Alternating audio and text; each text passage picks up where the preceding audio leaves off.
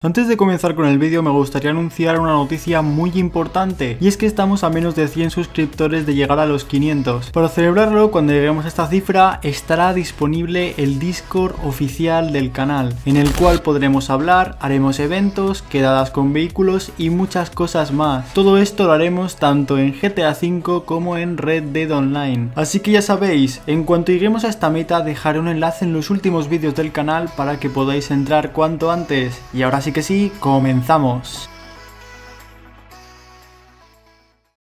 Hey, ¿qué tal? Bienvenidos a un nuevo vídeo de Grande Auto Online en el cual veremos, en mi opinión, las compras más rentables en febrero de 2021. En este top encontrarás desde negocios de Securosurf y el club de moteros hasta algún que otro vehículo. Y antes de nada, aclarar que en este top no habrá un orden concreto de mejor a peor, a excepción del último, que este sí lo considero como la mejor compra en febrero de 2021. Así que comenzamos.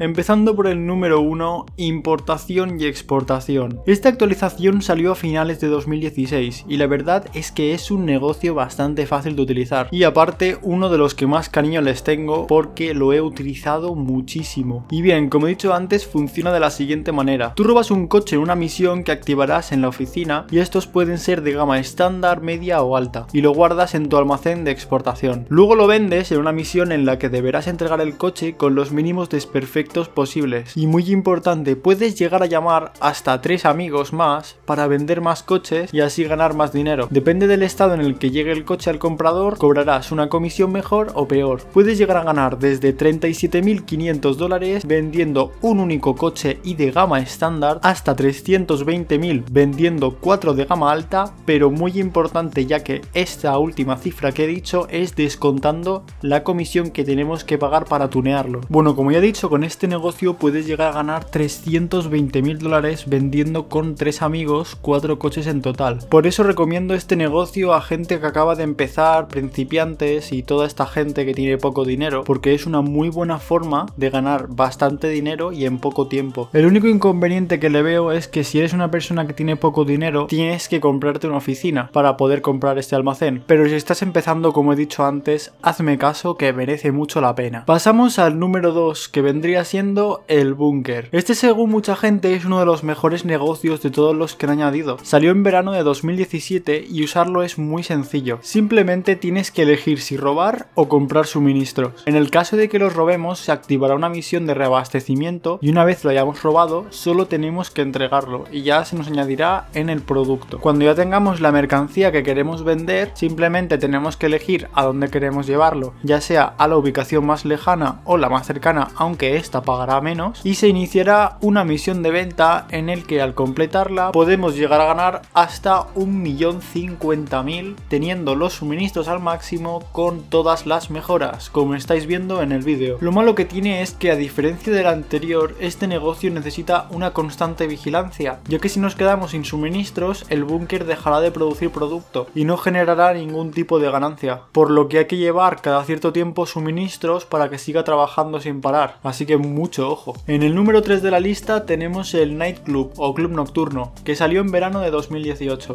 Una cosa a tener en cuenta antes de comprar este negocio es que por sí solo no genera prácticamente nada de dinero. Me explico. De la mayor forma en la que se gana dinero con este negocio es con los almacenes subterráneos, en los que se almacena mercancía que luego tendremos que vender, al estilo del búnker. Pero como bien he dicho, por sí solo no puede generar grandes ingresos. Esto es porque necesitamos otros negocios aparte para que esto produzca Por ejemplo, si tenemos el negocio de cocaína activo, este nos generará producto y a la vez, independientemente, también nos estará generando producto en el club nocturno. Este producto no tiene que ver con el que hay en el almacén de coca, por lo que si vendemos cualquiera de los dos no afectará al contrario. Sí, lo sé, es un poco lioso.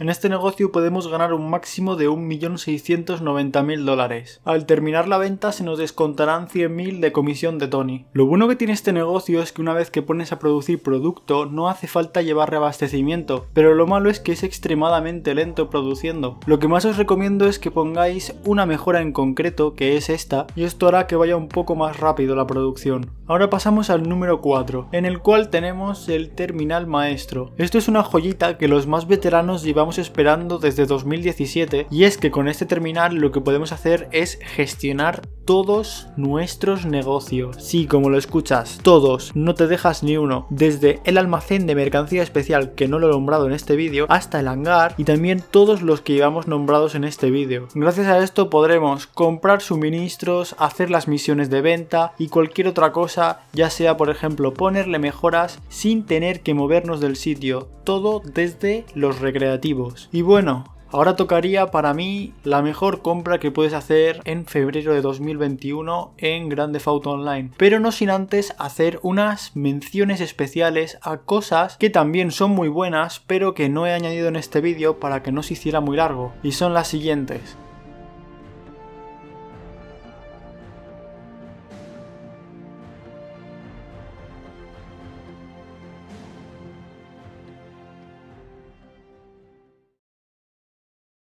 Y ahora sí que sí, os presento el número 5, el Kosatka. Y sí, es el submarino que añadieron en el último DLC de diciembre, en el golpe a Cayo Perico. Y bueno, comprarse este submarino son todo ventajas. Lo que más recomiendo es que si no tienes dinero, simplemente te lo compres para hacer el golpe a Cayo Perico. Porque sí, esto funciona como una especie de sede, como ya lo fue la casa de gama alta para hacer los golpes de Trevor o las instalaciones para hacer los golpes del juicio final o del fin del mundo en Latinoamérica. Así que comprándonos este submarino podremos hacer el golpe a Cayo Perico, que si no es la mejor, es una de las mejores formas de hacer dinero en GTA Online, ya que puedes conseguir más de un millón tú solo en menos de una hora. Pero bueno, que me voy por las ramas. Este submarino tiene diferentes funciones, como por ejemplo puedes conducirlo, aunque es un poco sin sentido porque va súper lento. También está este viaje rápido, que es una maravilla porque puedes ir a cualquier parte de la costa del mapa por solamente dos mil dólares y poco más. También puedes almacenar este helicóptero y el submarino, pero lo más importante, como ya he dicho antes, es el golpe a Cayo Perico, porque hacedme caso, gracias a esto podréis ganar muchísimo dinero. Y bueno, con esto ya habríamos llegado al final del top de estas 5 maravillosas cosas que deberías tener, porque a mi parecer son súper rentables. Como siempre, si te ha gustado, puedes suscribirte y darle a like, así me estarás apoyando para que siga vivo muchísimo tiempo más y no me estanque como el parque que hay al lado de mi casa. Recordaros que cuando lleguemos a la cifra de 500 suscriptores estaré dejando en la descripción un enlace para entrar al Discord oficial del canal en el que haremos quedadas, eventos y muchas cosas más. Soy Redemption Fate y nos vemos en el próximo vídeo.